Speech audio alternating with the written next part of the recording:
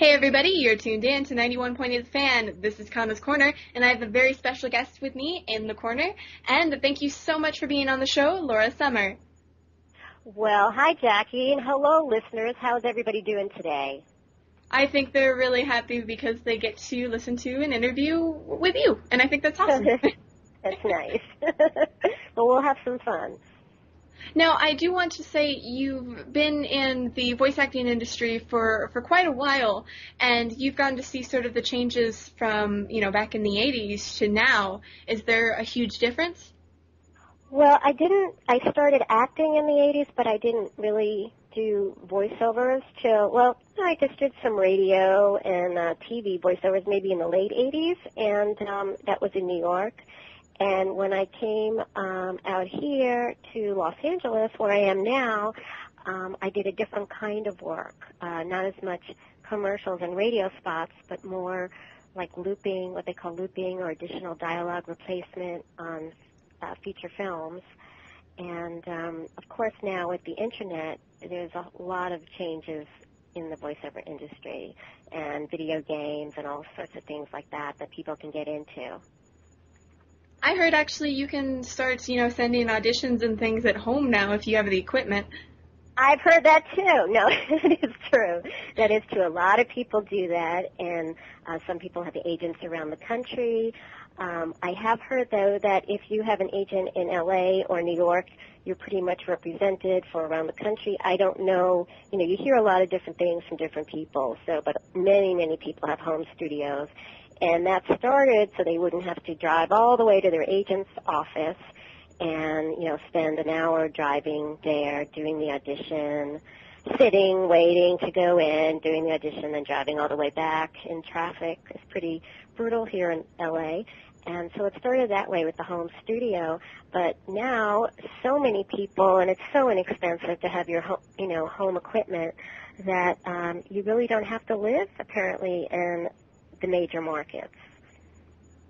Yeah, and I, I personally wouldn't want to live in LA. I'm in, I'm in Vegas, by the way, Vegas, Nevada. But LA has some terrible traffic. We we go there for cons quite often, and it's just like we get ran over almost all the time. That's fun. Now you come you come here for the con, or you you go to San Diego? Um, we generally go to Los Angeles for Anime okay. Expo.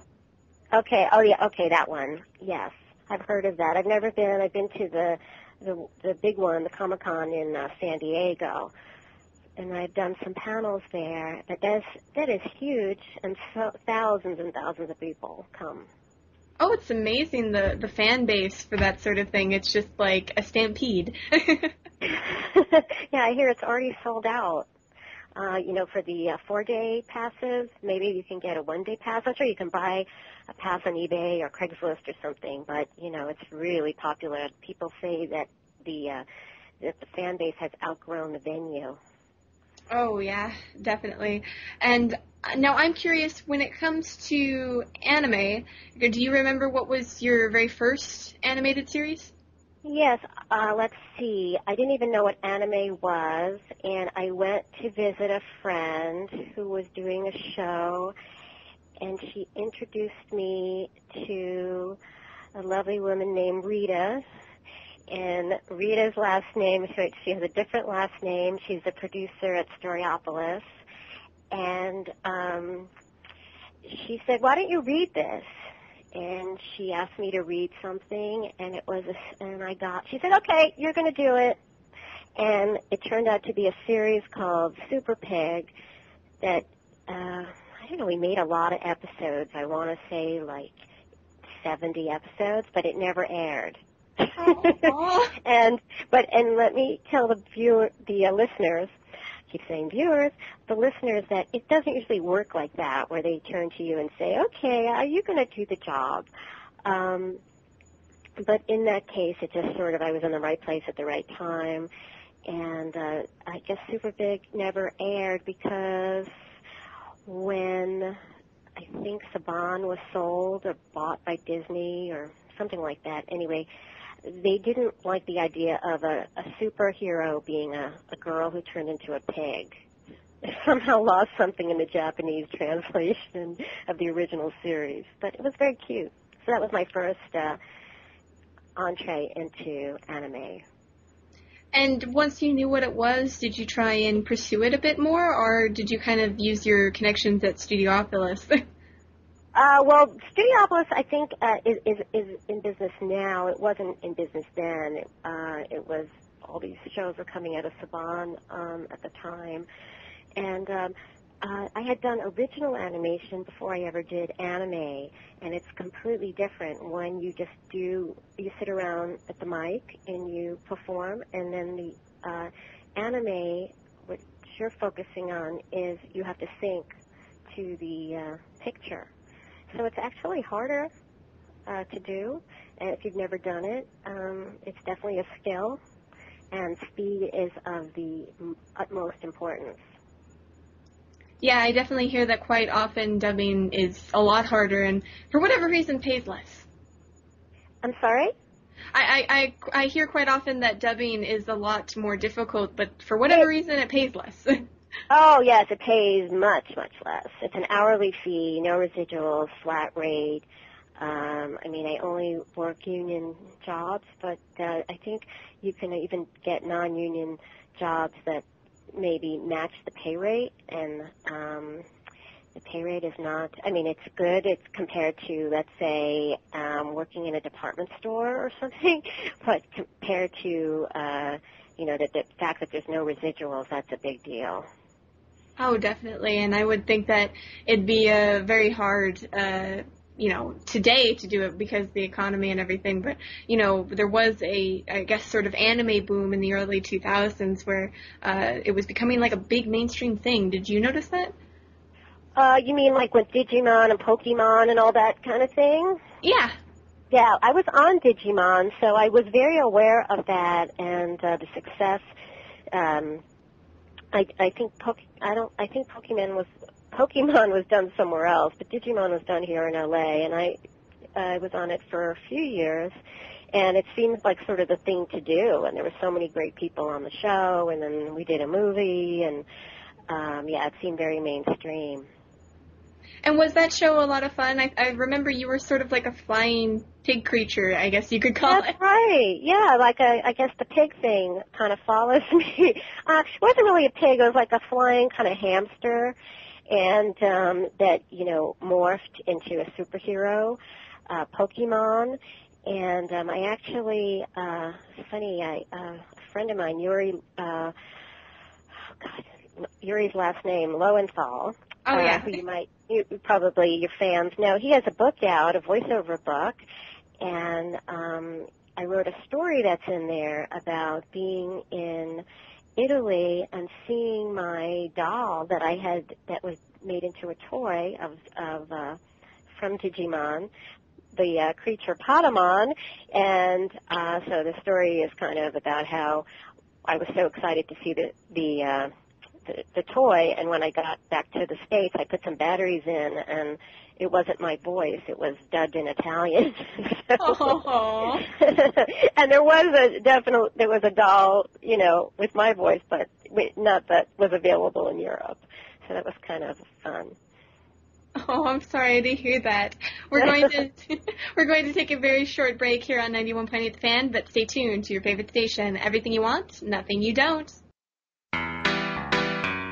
This is DJ Connie here to tell you the best place for all you video game fanatics. I'm listening.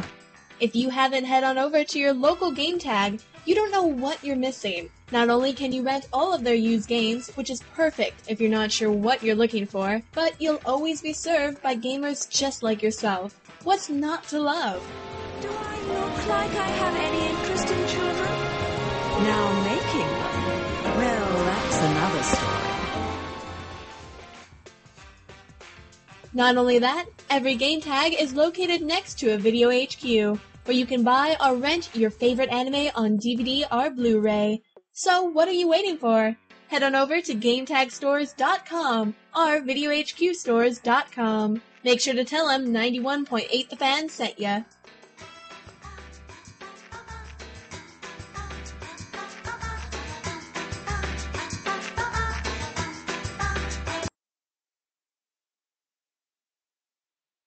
Hey everybody, you're tuned in to 91.8 The Fan. I still have my special guest here, Laura Summer, and I didn't scare her off, don't worry. you did, you did. I, I am curious though, I know that you also do a lot of live action sort of voiceover in, in with the looping and whatnot. Can you explain a little bit about that? Uh, well, what looping is is officially called additional dialogue replacement, and that's when um, you're watching a movie, let's say, and you're seeing Meryl Streep talking to Al Pacino over dinner, and then you see people at other tables having their animated conversations. Those voices have to be put in and layered in in post production. So actors are hired to do that. And that's kind and that's part of it. And then or maybe you'll see a crowd of people um, clapping and screaming and there's a close up on a girl with her mouth open, and you have there has to be sound put in. Let's say she's screaming at a football game, so that would be another thing. Or maybe um, it was a day player hired for the day and had a line or two, and they didn't like how uh, the acting was or the sound was muffled. They might not get the same actor back. They would have um, this small group. It's done in a group of people. It could be like four people the group might be, or could be 20 people um, looping for that day. And they would have, they would pick someone who they thought was the best voice match for that and replace the dialogue. And so it's a process. It's done, you know, uh, for the day. Sometimes you might have a job and it's a few days, but that's rare. But um, uh, every movie has post-production uh, additional dialogue replacement, which is also called looping. Every movie does, and um, a lot of television shows as well. I would assume that'd be actually pretty hard to match the lip sync of, of you know, like a normal person. What do you mean? Just you know it, it's it, animation they have the lip flaps but there's so much difference in you know humans. They have so many characteristics. I would think it'd be a little bit harder to match a lip flaps of you know a human and not somebody who uh you know was animated. Oh it's actually i think it's easier the other way around because when i first saw you know when i got hired for super pig and i they said you know, match the flaps. I thought that was so weird because it's just up, down, up, you know, it's open, close, open, close. It's not words. And, you know, um, I know that some people think, like with uh, ADR, they tell you what to say. Well, they don't tell you what to say. Let's say you see somebody at a table and they're ordering, they're telling the waiter what they want you don't know what they said, it would be like, oh, I'd like the salad with the chicken breast because you just have to figure out what would fit, you know. Oh, um, I see. You see, and sometimes things fit, and sometimes they don't, and sometimes, oh no, this will work better, and um, everyone is pretty supportive usually and tries to help the person who's at the mic, you know, if it doesn't fit or they need it shorter or quicker or you know, just different or lower or higher if the voice doesn't sound like it's, you know, what quite what they want. That's pretty so interesting. They might have somebody actually. else do it. Yeah, like, yeah, it I, is interesting. I've never known about that portion. You know, I get to hear about uh, other aspects of it, but I never have gotten to hear sort of, you know, the the extra stuff, which really, when you think about it, it helps make a movie too. Oh yeah, because it could really, if you're watching some kind of competitive sport, and you don't hear the people in the background screaming or chanting or calling out the names of the players, you know, or the team or something. Think of how dry that would be if you were watching the movie. It wouldn't be very exciting, you know. Oh, definitely. And I'm curious, do you have any upcoming projects or projects that you've recently finished that you can tell our listeners about? Well, I looped the uh, show for uh, ABC Family called Make It or Break It, and that's coming back for another season. Um, and there's taping now, and I'm not exactly sure when that'll be on the air, but soon. That's about uh, um, high school girls who are hopefuls for the uh, Olympics um, in gymnastics, and it's a really fun show. Oh, wow. I'm sorry, that was our that was our recorder. it, it went off, so. well, anyway, the Garfield show, the Garfield show is a lot of fun. It sounds like it, and it sounds like you really enjoyed the show yourself. And I'm curious, is there anything else you want to tell the listeners out there? Uh, well, if you're, uh, uh, are these a lot of fans who want to try to get into voiceovers, or just fans of animation and anime? Um, most of our, our fans are, most of our listeners are people who really respect, you know, the, the dubbing process. I don't know how many of them want to get into voiceover. I know right now it's it's really hard with the economy though. Yeah, well, you know, everything is, so you might as well try to do what you really, what you think you'll love. So I don't discourage anyone from trying, you know, living out their dream and going for it because, you know, you could be an accountant and lose your job you know. So you might as well do something that can be really fun, and um, you know, not that you know I'm looking for more competition, but we we're we're very happy that the fans are out there, you know, very very happy about that because that's what keeps us working, and it's so wonderful to be appreciated. Oh, definitely. And I agree. And I, I must say that I really appreciate you coming on the show today and giving a little insight into what you do. Oh, you're so welcome. And I was wondering before we let you go if you'd like to participate in a 91.8 The Fan tradition. What would that be, Jackie? Well, we ask everybody who comes on, whether they're a voice actor or not, if they'd be willing to say a certain line for us, aka do Sure. a bump for us. Sure. Uh, we we do this live on air, so if you mess up, everybody gets to hear it.